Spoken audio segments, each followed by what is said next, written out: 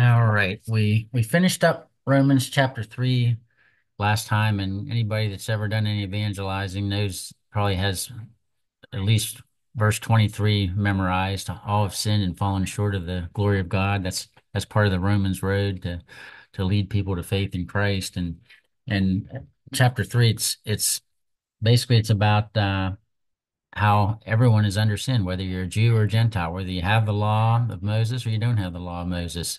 Every one of us is guilty before God. And, Paul says that the law it, it closes our mouth it, so that we have nothing to say. We we can't justify ourselves. We, we have no excuses when it when it comes time to, to be judged before the king. And and so if we're living under the law, we're going to be in, in bad shape. So he's going to bring, bring us under conviction here, show us how we can be justified so we can stand in that day of judgment and talks about how our unrighteousness demonstrates the righteousness of God and and how we're when we share this gospel of grace, how we're going to be slandered. People are going to say that when that we're that we're telling people let's go ahead and commit evil so that uh, how did he put that?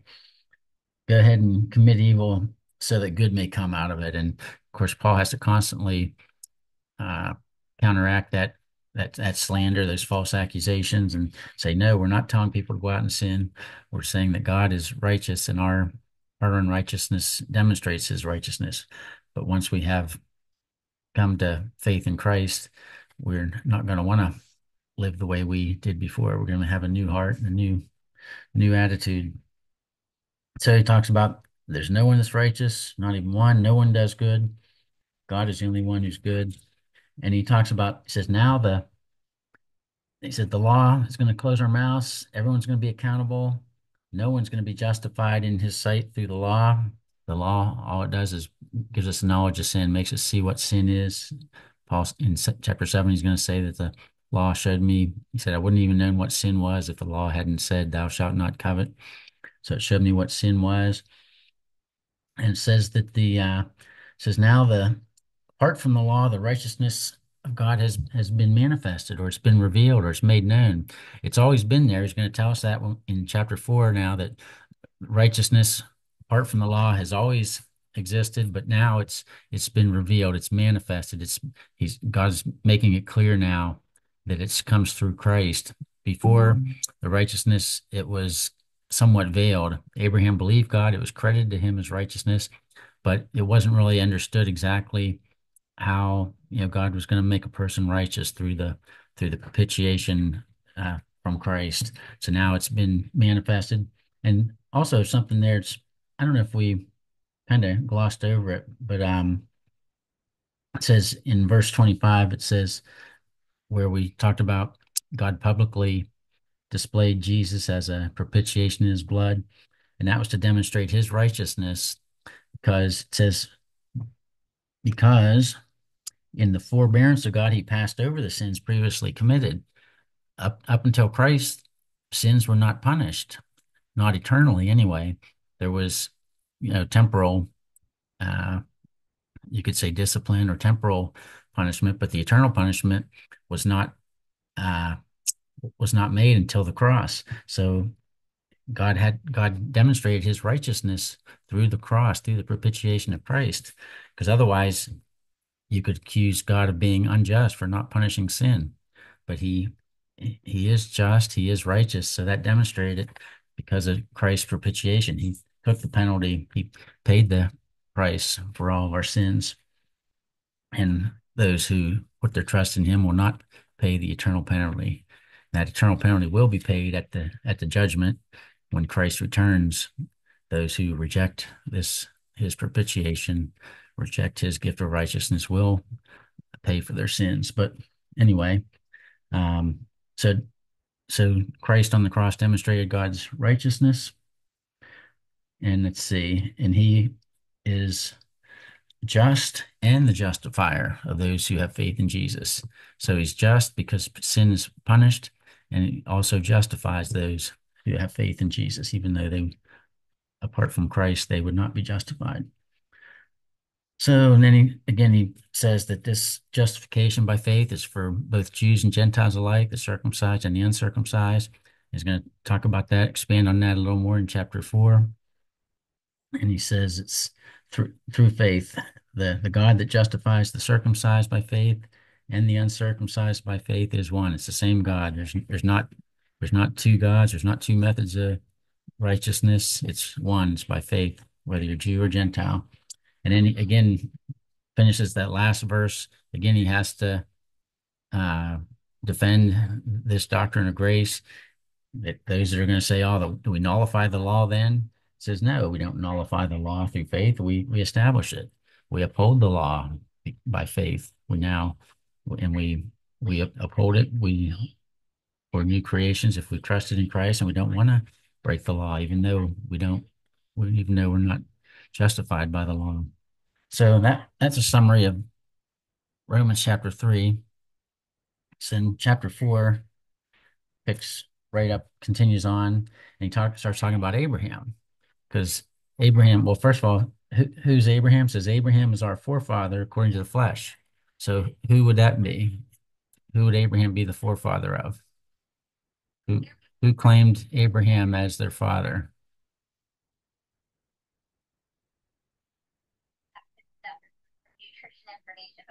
Go ahead, Rob.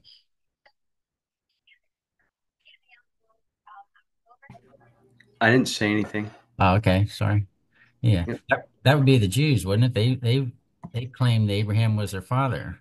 Remember in in John chapter 8 when Jesus talked to the Pharisees, they said our father is Abraham and Jesus said if if Abraham was your father, you would be doing the things that Abraham did. He said, but instead you're trying to kill me. He says you're of your father the devil. So the the the, the forefather according to the flesh, that that's Abraham for all the Jews. They considered Abraham their forefather. They they they traced their lineage back to to Abraham. Every every good uh, devout devout Jew, every Israelite would say Abraham is our father. So Paul's appealing now to the Jews, to the to the circumcised, those that are that are living under the law of Moses. He says, so what what did Abraham say? This is our forefather. That's the one that you're calling your father. What did he find out about this? And so what did Abraham find out? Remember, Abraham was, what was it, 460 years before the law? Yeah, he's Paul's talking to the Jews now. He's talking to the circumcised, those who are living under the law, trying to make themselves righteous through the law. He's saying, what did Abraham find? Because Abraham, their father, the one that they're they're uh, tracing their lineage through, what did he find 460 years before the law? If you're trying to be justified through the law, how did how did Abraham, how was Abraham justified before the law came? So here's what he said. What did Abraham find out? Says if Abraham was justified by works, he'd have something to boast about, but not before God. Know, wh why would, well, first of all, what does it mean to be justified by works? What, or what does it mean to be justified? If he's to be justified by works is what? How, how do you define to be justified? Go ahead, Mark. Uh, found blameless. Yeah. Yeah. Without, without blame. Yeah. In in a right standing with God. You're yeah. And says if, if Abraham, if he could be justified, if he could be found blameless, or if he could be declared righteous, if he be in a right relationship with God by his works, he'd have something to boast about. Right? I mean, if I can make myself good enough, I can keep the commandments uh, well enough to be justified, I can I'd have something to boast about, but not before God, because God knows. Uh, even if outwardly we might we might uh, appear blameless to to men, we might look good. God knows our heart, so we, we're not going to have anything to boast about before God, are we? So yeah, so in order to be if you want to try to be justified by works, you're going to have to be absolutely perfect, including all of your thoughts and all the intentions of your heart. And of course, only Jesus could pull that one off. So we'd have to never once commit a sin, even in our thoughts. All right. So let's see. Yeah, so you'd have something to boast about. You'd, you'd have done something that only Jesus has done, wouldn't you? That that would be that would be uh, worth boasting about if you could pull pull that off. I I remember talking to somebody once. Well, you, I think you all know him. He he uh, well he passed away uh, a couple years ago. I think maybe two years ago.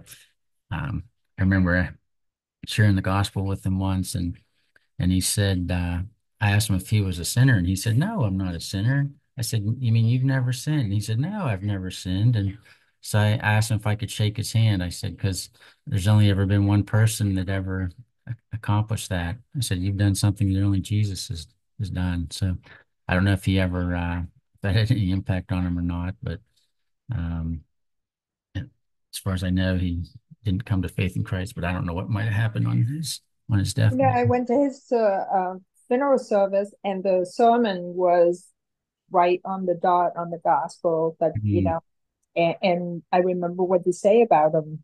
I I was, you know, Yeah. wondering. Yeah. I don't And know. Yeah, and you know, God was was gracious. He gave him time to uh he, you know, he didn't he didn't die instantly. I mean, he had he was on a you know, we think all that's terrible that someone has to suffer on their deathbed, but but that's really God being merciful, isn't it? He's given someone a, a lost sinner time to to reflect and think about how futile it is to to think that you can make yourself righteous. And so I don't know.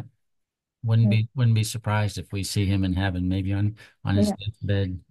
It, it was definitely a Christian, um, you know, like service. The, the message was loud and clear. well, that's great. Yeah. Yeah. Yeah. Yep. So yeah, I wouldn't be surprised if we see him in heaven. All right. Um, all right. So Abraham was not justified by works. How how was Abraham justified? According to verse three. That's a that's a By faith. yeah, by faith.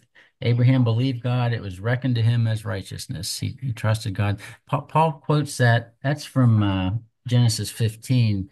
Paul quotes that, I don't know how many times, it, I think a couple times in Romans, probably a couple times in Galatians. Abraham believed God and it was reckoned to him or credited to him as righteousness.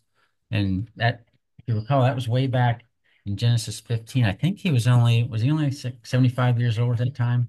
And the, the point being that it was, and he's going to make this point in Romans chapter 4, that it was be, well before Abraham was circumcised. Because the, and yeah, that was something that was so important to the Jews, their their physical circumcision. They thought if a person wasn't circumcised, they couldn't be declared righteous. And it was in yeah, it was in Genesis chapter 15. Excuse me. I think I think Abraham's about 75 years old. It probably even says it in there somewhere. Um, this is where God makes his promise to Abraham. He says that says the word word of the Lord came to Abraham in a vision, saying, Do not fear, Abraham. I am a shield you. I am your mm-hmm. I am your very great reward. That that's a I, I love that. Who who is Abraham's reward? It's the Lord. I mean, and this and that the Lord is our reward too, isn't he? What what better reward than to, to have the Lord?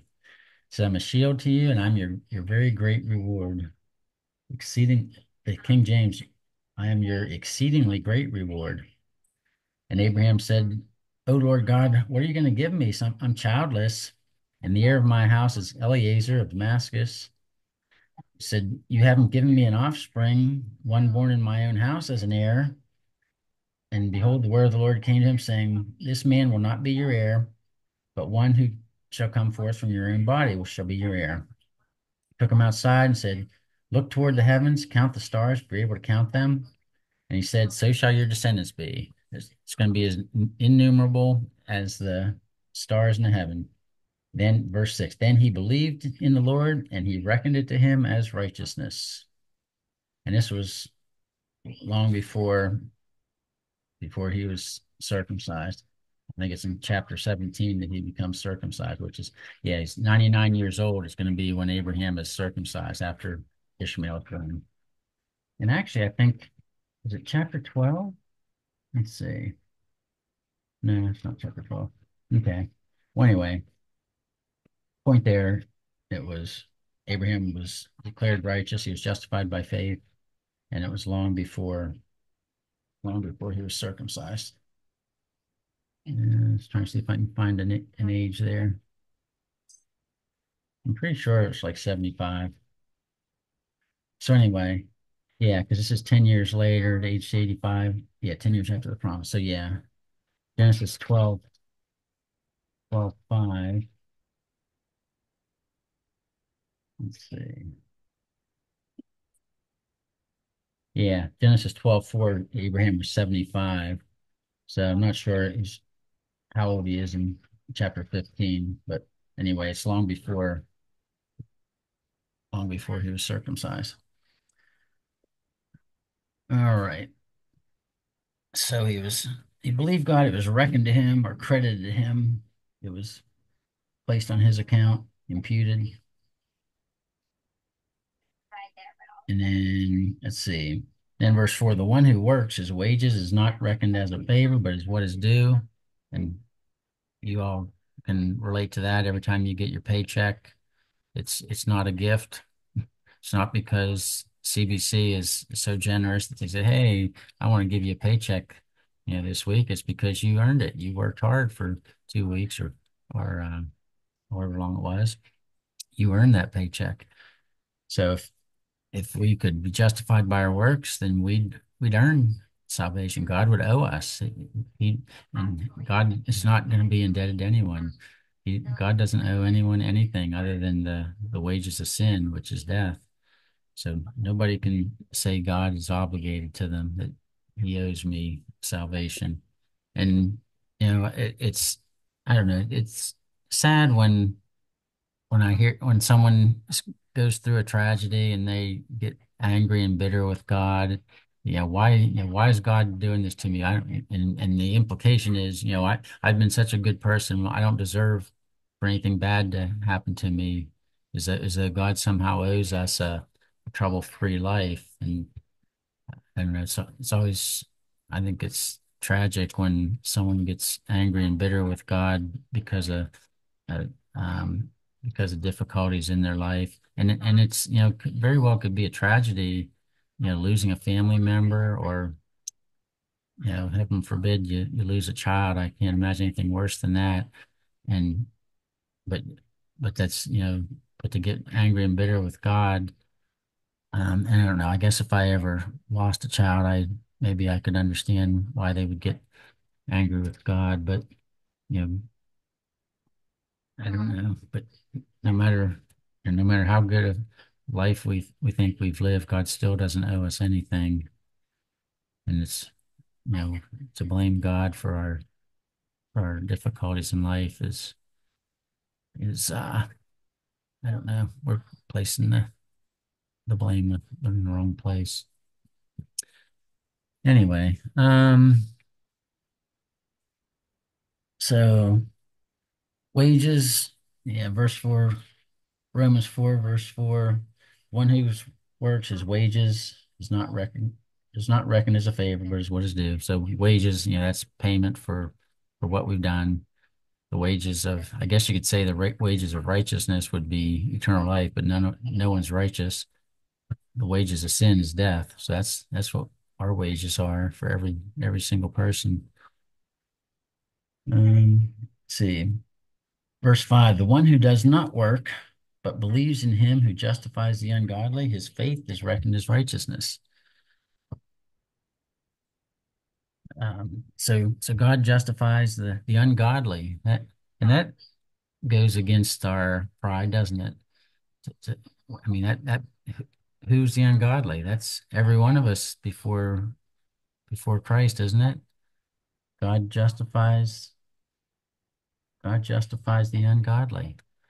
That that's offends our pride, doesn't it? As a lost person, if you told me I was ungodly, that I would have that would have been fighting words. Yeah, what do you mean I'm God? I'm I'm ungodly. I go to church every Sunday. I was baptized as an infant. You know, I was an acolyte. How can you call me ungodly? Yet God justifies the ungodly. It's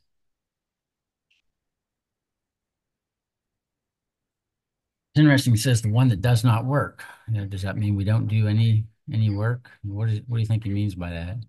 One who does not work. One who doesn't share the gospel Um, to um, others, like um, evangelizing.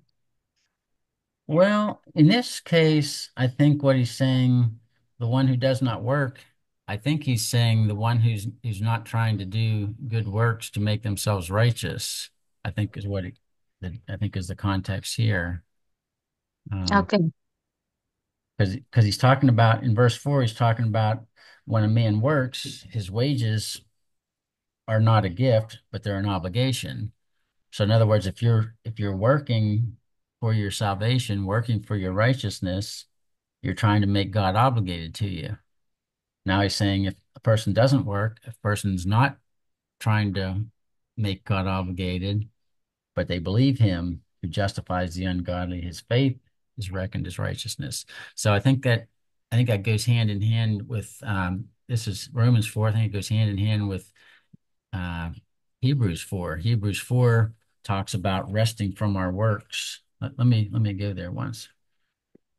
Hebrews 4. Hebrews 4 talks about um, there's a promise remaining of entering into his rest. Uh, it says, "We had the we who've had the good news, the gospel preached to us, just as it did to them, but the word they heard didn't benefit them. It didn't profit them because it was not united by faith." It says, "We who have believed enter into that rest." And then if you jump down to verse 10, the one who has entered his rest has himself also rested from his works, as God did from his. So I think he's talking about resting from our own works of righteousness, trying to to work to earn God's favor, trying to work to earn our salvation. I think that's what he's saying there. So we have to repent of those dead works. You know, Hebrews 5 and 6, chapter 6 talks about repentance from dead works. So the, the Hebrews, the Jews, they would be doing all kinds of uh, works to try to obligate God, to try to earn his, his favor. So So in other words, like the one who does not work can be said like the one who doesn't strive, right? that maybe that's a better way to put it. Yeah, the one who's not striving, thinking that they're obligating Yeah. God. Yeah, yeah, because because we know we're going to do good works after we're saved. It's like Ephesians 2, 8 and 9. It, by by grace we're saved through faith, not of works. It's a gift of God, so that no one may boast.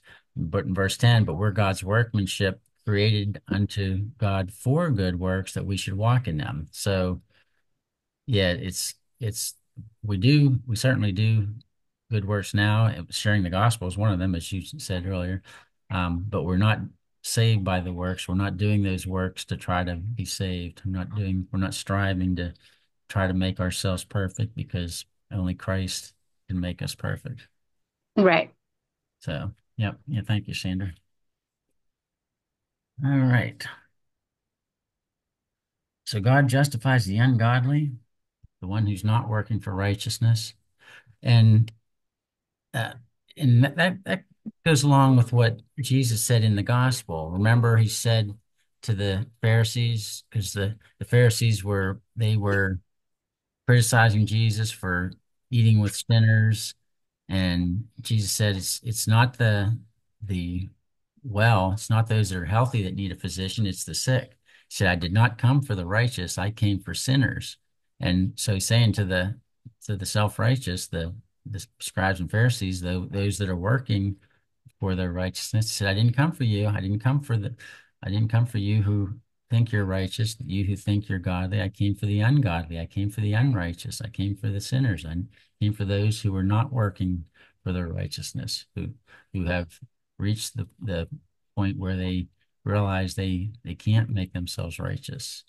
And that's what the law is supposed to do. It's supposed to show us that we can't make ourselves righteous, to bring us to the point of of hopelessness and despair, where I where Paul says in chapter seven, who's gonna save me from wretched man that I am? Who's going to save me from this body of death? I'm trying hard to keep this long and I can't do it.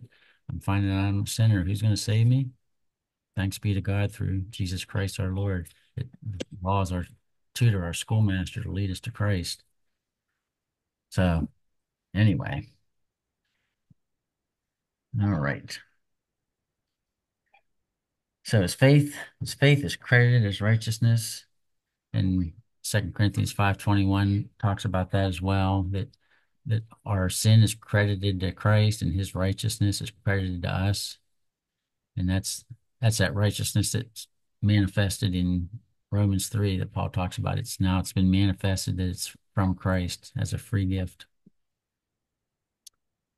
And so our faith has to be credited as righteousness and it's and it's Christ's perfect righteousness that's credited to us because remember what Jesus said in the Sermon on the Mount, Matthew 5 20 says, Unless your righteousness exceeds that of the scribes and the Pharisees, you will no wise enter the kingdom of heaven. So we have to have even better righteousness than the scribes and Pharisees. And remember, Paul in Philippians 3, he said that he was a Hebrew of Hebrews, a Pharisee. He said, as to righteousness that comes from the law, he was blameless. He says, but he counts all that as rubbish because he wants to be found in Christ, not having his own righteousness that comes through the law, but righteousness that comes by faith. The righteousness comes by faith in Christ. That's Philippians 3. So that, that's the only righteousness that's going to exceed that of the scribes and Pharisees. And it's a free gift credited to our account, like the taking your college entrance exam, having somebody take it for you and get a perfect score and you get credit for it. Go ahead, So, Jim, um, like you know, these in the denominational churches, they have the Apostles' Creed and the Nicene Creed, and Yeah. um, I mean, I was also part of one such church before I got saved, but Mhm. um, we would like, you know, stand up and read that or sing it and, you know, things like that. But I know it was just head knowledge, and I can only speak for myself, like based on what my story is, you know, but um, I was just talking to someone about that, thinking, saying that uh, it's just head knowledge and it was never heart um, relationship with Christ. Yeah. Um, but um, you know, they were saying like, but what if they are speaking those words from the book Mhm. and they believe it? They Mhm. do believe that Jesus is um, the Son of God and everything that's in the creed. Mhm. Um, and they're going to that church. Isn't that all that qualifies them for salvation? Yeah. But I don't know that they would really, they aren't born again, you know, Right. Yeah. Right? they're right. If they're not born again, then they're not saved, obviously. But on, by the same token, though, there I I do know some. There are some in those denominational churches that that recite that creed that that are that have truly been born again. It's it's a very small minority.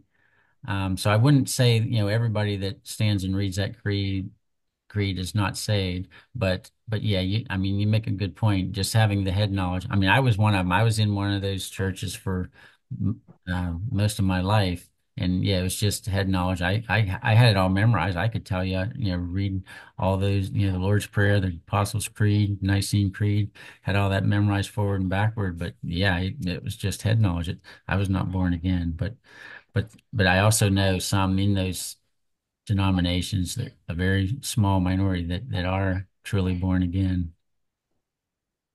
Yes, maybe like like the writers of hymns and things like they were they were born again people, right? Like, but then somehow things got diluted and Yeah, and the denominational churches um have become dry now, right. most of them at least. Like you said, there may be a few in there that um God can use to bring revival there as well. yeah, yeah, yeah. And you know, it, it's it's kind of amazing that I mean, I guess it's just you know God's amazing grace that that that that, that there are some people that get saved in the, even in those denominational churches that aren't tr- really tr uh, proclaiming the true gospel, and yet there's still some that get saved. There's I guess there's enough truth there that a few here and there get saved.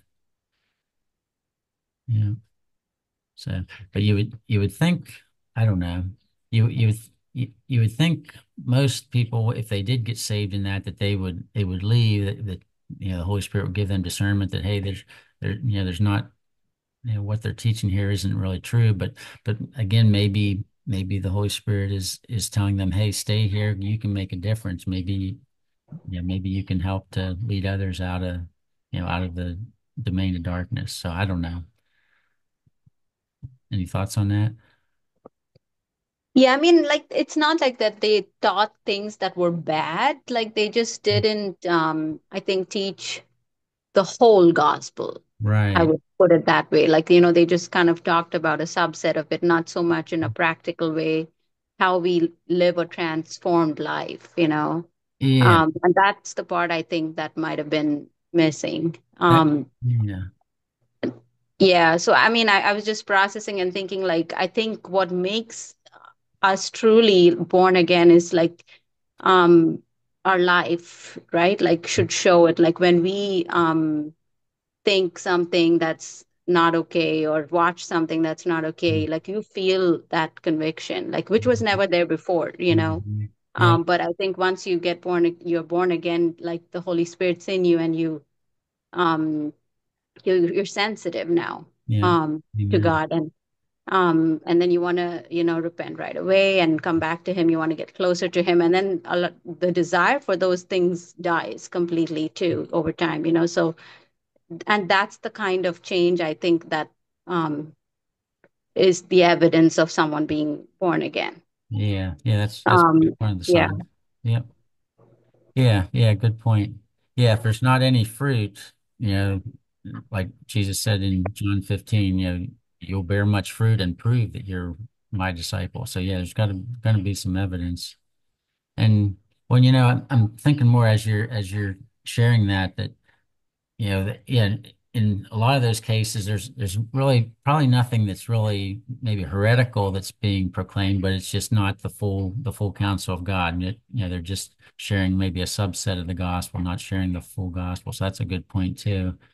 And and you know, even even a good evangelical church where the gospel's being proclaimed, the full counsel of God is being proclaimed, you're still going to have people in there that, that hear the gospel every week and are not born again. They they're they become immune to it for some reason. They can hear it over and over again and still not respond in repentance and faith. So I don't know. I'm not. sh- I don't know what you do about that when.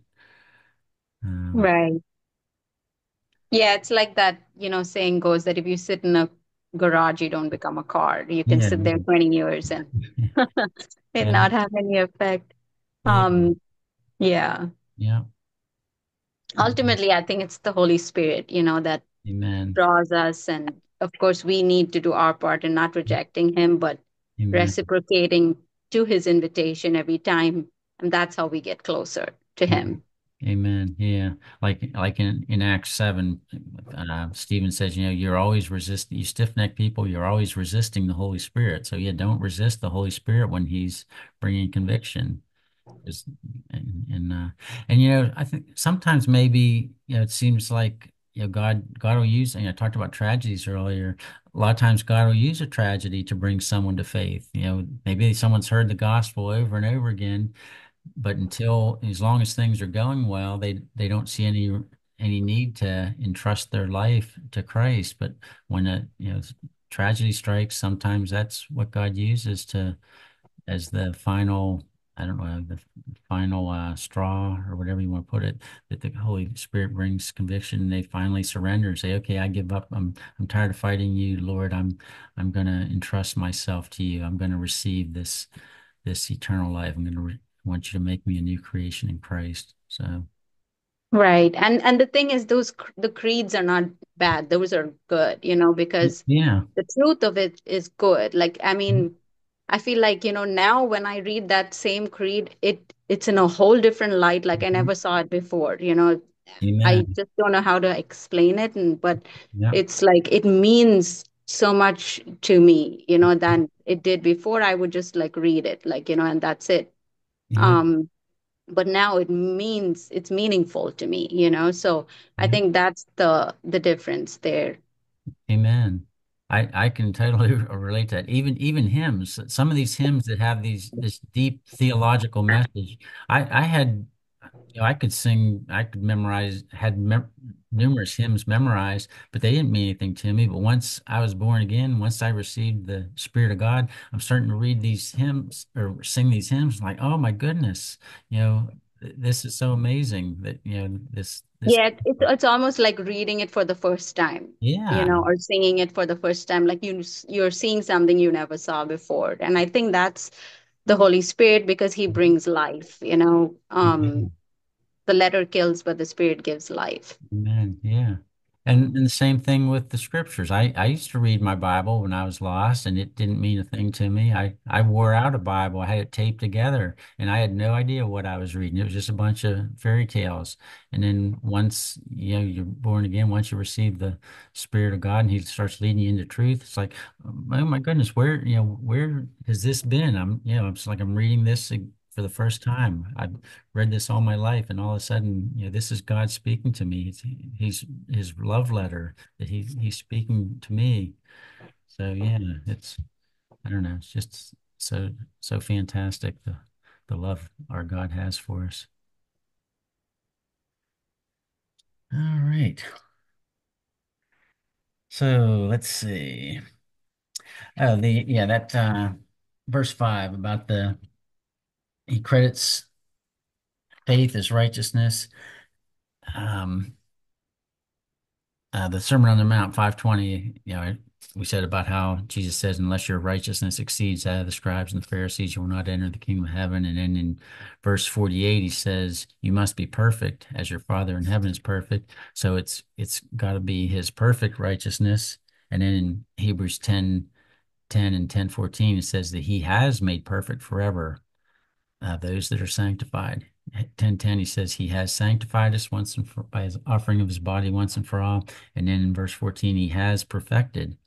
And it's our it's our spirit that's perfected. Hebrews 12 23 it says it's the spirits of the righteous that are made perfect. So he, he makes the, the moment we're born again our spirit becomes perfect. Our, our body won't become perfect until Christ returns and there's in the resurrection. That's in Philippians 3. Paul says, I haven't yet obtained perfection. He says it's going to happen at the resurrection. When when Christ comes, he says he's going to transform these lowly bodies to be like his glorious body. And then Matthew 13 says, Then the righteous will shine forth like the sun. And remember, Daniel 12, 3 says, Will shine, says, will shine like the stars of heaven forever and ever and that's going to be at the resurrection when when our bodies are transformed to be like Jesus. So our spirit is perfect now, the moment we were born again, and our body, even our body, is going to be made perfect at the resurrection. So that that's exciting. That's the that's the the hope of righteousness that we wait for by faith in Galatians 5 5. We're wait, waiting for that hope of righteousness when even our our bodies are going to be and our behavior will be perfect our right now our in our spirit we're perfect. Or we have that perfect righteousness credited to us. And then even our actions will be perfectly righteous when after the resurrection. All right. Colossians 2.10 we are complete in christ now. See. Yeah romans 3.20 and galatians 2 no one will be declared righteous through the works of the law because you can't keep it perfectly All right, so now down verse six. Now he's gonna Romans four verse six. He's gonna talk about David now. And remember, now he's he's speaking to the to the circumcised. He's speaking to the Jews. They would know about Father Abraham. They'd also know about David. David is their their king. He's their hero. Abraham's their hero. David's their hero. Moses is their hero. So he found out what Abraham found out. Abraham found out righteousness by faith. Now he's going to talk about David. David, he's going to say, now David wasn't, even David wasn't declared righteous by works. He's going to say that David speaks of the blessing upon the man to whom God reckons or credits righteousness apart from works. And he's going to quote it looks like one of the Psalms, Psalm 32, I believe it is. Says, Blessed are those whose lawless deeds have been forgiven and whose sins have been covered. Blessed is the man whose sin the Lord will not take into account. That's David in in Psalm 32. So he's appealing to these to these Jews through their father Abraham and through their king David, saying Abraham wasn't righteous by the works of the law, David wasn't righteous by the works of the law. So then he's going to go back to circumcision again. And he says, Is this blessing then upon the circumcised or the uncircumcised? That would be a, a reasonable question.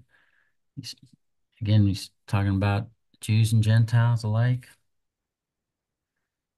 It says, let's see, it's blessing, it's on both the circumcised and the un uncircumcised. That blessing is for all, all of those, uh, every person, just like all are under sin in chapter three, all can receive this blessing, Jews and Gentiles alike.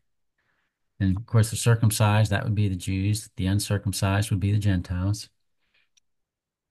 Circumcised would be those with the law written on stone. The Gentiles would be those without the law or those that have the law written on their conscience. If you remember that from Romans chapter 2, we all have the, the law written on our conscience that we we have this conscience that God has given us that we know when we're doing something wrong. Uh, as a lost person, we tend to sear that conscience or ignore it at times and go ahead and do the things even though we know they're wrong. We just try to cover them up. That's why we do them in the dark. We, we like to keep our deeds hidden. That's why we don't come into the light. We know what we're doing is wrong, but we don't want it to be exposed. That's why there's so much activity at, at night for the lost. You know, the lost, when, when the lights go out, there's that's when all the activity happens, all that sinful activity, whether it's in the bars or the, you know, Las Vegas. They're very active at night. In the daytime, nobody wants to come out in the light and have their their deeds exposed. So anyway, um, so yeah, he's going to talk about Jews and Gentiles alike from well, actually from verse nine through seventeen, about half the chapter there.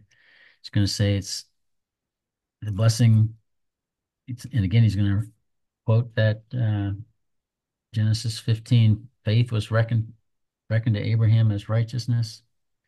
And then he's going to make the point here, starting in verse 10, that that faith was reckoned to Abraham before he was circumcised. Because that's the that's going to be the natural question for for a Jew. Well, well, was he reckoned righteous before or after he was circumcised? Because the, the Jews would have thought that it was after he was circumcised, that that circumcision was part of his righteousness. But Paul's going to make it very clear here that no, the circumcision was a sign of the righteousness that comes by faith. That's what's so ironic about circumcision. They it was a sign of the righteousness that comes by faith, a sign of the righteousness that comes apart from the works of the flesh. And they were making it a work of the flesh to, to make themselves righteous. It was complete opposite of what God intended for it. Go ahead, Sandra. I think it's equivalent to today's uh, like first we believe, then we get baptized. Exactly. It's not, you know, the other way around that you be baptized and that's going to give you the salvation. Yeah, great point. It, yeah, it's it's exactly the same, isn't it? And and and we do the same thing today with baptism. There's many people that think their baptism is what saves them. It's what makes them righteous. There's some that teach that baptism is when they're born again. And you can, if you stretch John 3 enough, you, you know, if you torture enough, you can make it say you can almost make it say that because it talks about being born of the water and born of the spirit. And there's some that'll say, oh, see, that means when you had water sprinkled on your head when you were an infant. But that's not what what Jesus is saying there. Yeah, the baptism, like you said, Sandra, the baptism happens after the, the, the water baptism happens after we believe, after we're born again. Um, I mean, you can be baptized. I was baptized as an infant, but that didn't save me. All that did was make me wet. The yeah, the it's a picture. The the water baptism is a picture of the the baptism that the Holy Spirit does when we believe. We're baptized by the Spirit into the body of Christ. So it's a picture that we've become identified with with Christ. And and Paul's going to expand on that in in chapter six about baptism. We're we're buried with Christ. We're we're identified with him in his death, burial, and resurrection. So when we're baptized with water, when we're going under the water, it's a picture that we've been identified with Jesus in his death. When we come back up out of the water, it's a picture that we've been identified with Jesus in his resurrection, that we've now been, we're walking in newness of life, that we've been born again. So, in that regard, that yeah, you could say that baptism and being born again are connected, but it's a the water baptism is a picture that we have been born again. The water baptism is not what causes us to be born again. But anyway, all that to say what you summed up in one sentence, Sandra. So anyway. All right. So yeah, we'll get down to verse, let's see.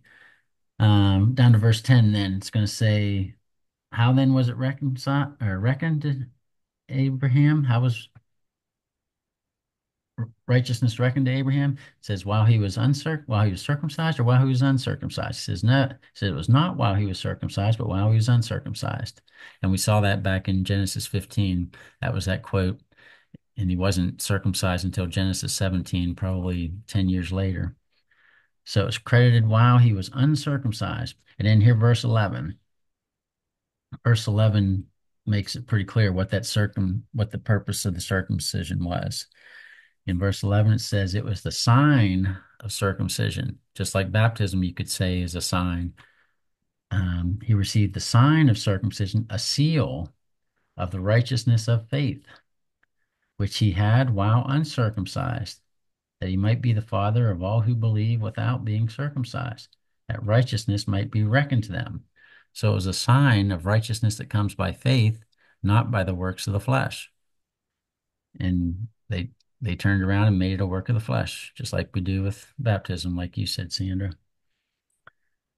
All right. And he's also the father of circumcision to those who not only are of the circumcision, but who also follow the steps of the faith of our father Abraham, which he had while uncircumcised. So he's Paul's trying to make it clear here that that Abraham is still the father of those who are uncircumcised or circumcised if they receive the righteousness that comes by faith.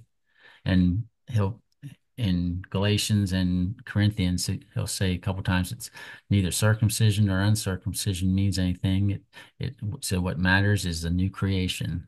There's he says it. I think he says three three different times. Once he says, um, well, once he says it what matters is is a new creation. I forget what he says the other two times, but uh, anyway, so Paul's not ruling out that a circumcised person can be can be justified by faith. He's saying yes, whether you're circumcised or uncircumcised, you receive righteousness the same way by faith in Christ, same way Abraham did. All right. Um, yeah, so Abraham was declared righteous before Ishmael was born, and then he wasn't circumcised until age 99. That happened when Ishmael was 13. That's in uh, Genesis 17. So he was circumcised, or I mean, he was declared righteous in Genesis 15, somewhere between age 75 and 86. Because in Genesis 12, he's 75. In Genesis 17, let's see, I'm sorry, not 17. In Genesis, let's see, 16, he's 86 when when Ishmael Ishmael's born. So then in Genesis 17, when he's 99 years old, this is when Ishmael is 13. Genesis 17, Abraham was 99 years old. The Lord appeared to him, said, I am Lord Almighty. Walk before me, be blameless. I will establish my covenant between me and you. I will multiply you exceedingly. Abraham fell on his face. God talked with him, saying, As for me, behold, my covenant is with you. You shall be the father of a multitude of nations. He's repeating this same promise. No longer will you be called Abram, but your name shall be Abraham I will make you the father of a multitude of nations. I'll make you exceedingly fruitful. I will make nations of you. Kings shall come forth from you, and I will establish my covenant between me and you and your descendants after you throughout their generations for an everlasting covenant to be God to you and your descendants after you. I will give to you and to your descendants after you the land of your sojournings, all the land of Canaan, for an everlasting possession. I will be their God. God said further to Abraham, Now as for you, you shall keep my covenant, you and your descendants after you throughout their generations. Now, verse 10 This is my covenant, which you shall keep between me and you and your descendants after you.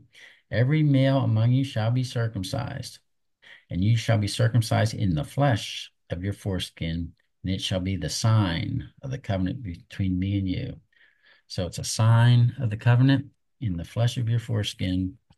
Philippians 3 3, Paul talks about that again. He talks about having no confidence in the flesh, talks about being the true circumcision. says, We're the true circumcision who worship in the Spirit of God, glory in Christ Jesus, and put no confidence in the flesh. So that's the true true circumcision is putting no confidence in the flesh. The false circumcision does put their confidence in the flesh. The true circumcision boasts only in Christ, not in their own flesh. So that's what the circumcision was about. It was about a sign of the righteousness that comes by faith, faith in the promised seed, promised Messiah. So that's probably a good place to stop. So, so what's what's our takeaway for today? We covered about the first 10 or 12 verses in Romans 4. Basically, it's about Abraham finding righteousness by faith. And David, the same thing. So any anybody have any takeaways they want to share? Mark, go ahead. Um, just uh, you know, the example of Abraham. Uh, I think that's a you know a, a, a figure in the Bible that we we can um, look to. Uh, you know, and um, uh, you know how how he had to he had nothing to go on you know it was just god's word Mm. um so that's a tremendous uh tremendous leap of faith on his part Yes. and uh, to believe god to that he would fulfill the your that he would be the father of nations uh Mm. it's just it, it, tremendous uh faith I'll say, yeah, good point. I, I mean, as you're saying that, I, I can think of three, three profound examples where where uh, Abraham had to exercise faith. One, he had to leave this country and go where I'm telling you to go. Mhm. Just, just trust me. And then Mhm. another one that I'm going to make you a father of many nations. Well, how's that going to happen? I'm I'm old. My wife is barren. How in the world is that going to happen? You had to trust him there. And then the next one, when he had to, when God had him sac, he told him to sacrifice. Isaac. Mhm. Man, Yeah. great point, Mark. Yeah, what tremendous example yes. Okay. Yeah. And he didn't have a Bible. The Bible wasn't written then. We've got Old and New Testament and, and we still struggle to trust God. Yeah. Yeah, great point, Mark. and then and then of course the you know if you're if you're still striving to work your way to heaven stop Yeah. Amen. stop doing that Yep. Yep. Trust God. Trust Christ. that's christ yes Amen. Thank you, Mark. All right. Sandra, you had something you wanted to share?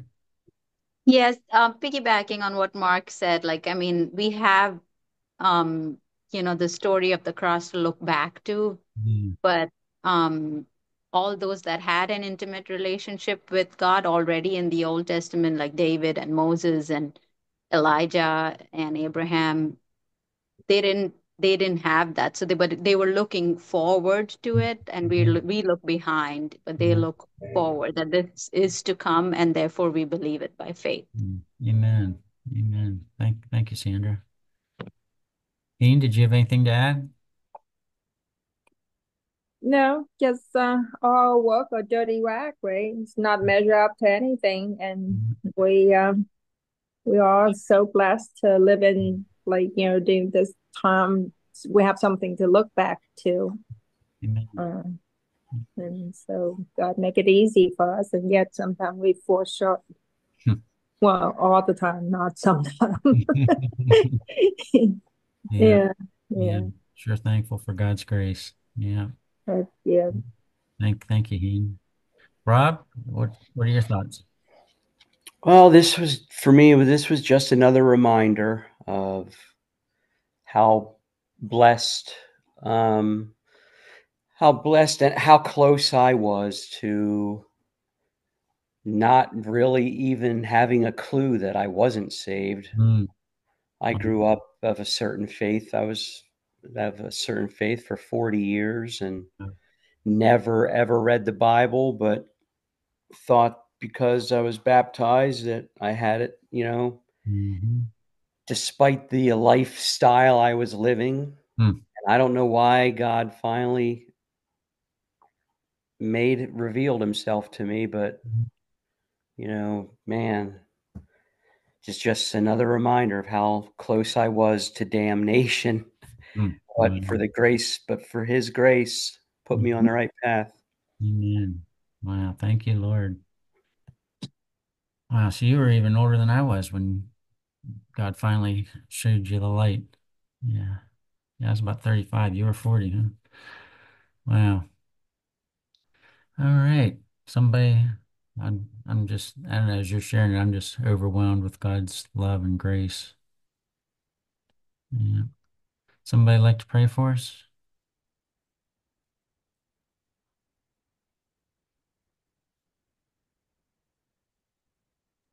Sure, I will. Thanks, Sandra. Father God, we thank you for your uh, love and thank you for sending your son, Jesus. Jesus, we thank you for numerous second chances you've given us. And um, we thank you for um, your mercy, your grace upon us. We can never thank you enough. We can't even wrap our mind around or comprehend um, the extent of your goodness upon us when we we don't deserve it at all. Um, we thank you um, for uh, what you did for us on the cross and um, giving us new life. And um, each of us at different stages, at different points in our life, were saved at whatever age. But um, we know, Father God, we often tell you that um, make it up for the lost time, Lord. And uh, you are a redeemer of time. And um, so, Father, we ask you that um, in in the days ahead, that you will make it up for us. That we will. Um, we will dive deeper into our relationship with you. We will draw closer in our friendship with you and um, help us, Lord, to experience you and um, in ways that we've never experienced you before and um, show us things father you say um, when we seek you diligently you will um, show us things that we have not even seen or heard of and you will reward those who seek you diligently. So help us lord um, to do that. And um, we want to all the fullness of the life that you have you came you died you rose again to give us. And we thank you so much for saving some of our loved ones around us. We ask you uh, for open doors for those that are not saved, that you will um, give us um, opportunities, Lord, and uh, help us not to hesitate, but help us to be bold and courageous and um, grab those moments to be able to um, bring more into your kingdom. We ask all these things in the precious name of our Lord and Savior, Jesus Christ. Amen. Amen. Amen. Thank you, Sandra. Amen. All right. Well, you all have a, a blessed rest of the week. I'm I'm just still marveling at, at God's grace. So, all right. All right. Well, see you next Tuesday, Lord willing. Thank you, Jim. Thanks, Bye, everyone. everyone. Bye bye, everyone. Bye-bye, Jim. Yeah. Bye-bye.